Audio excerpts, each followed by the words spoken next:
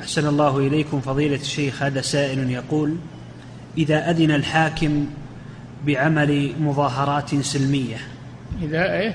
أذن الحاكم بعمل مظاهرات سلمية. لا المظاهرات ما تجوز في الإسلام. ما تجوز هذه من من أعمال غير المسلمين. ما تجوز المظاهرات في الإسلام والفوضى؟ ما يجوز هذا.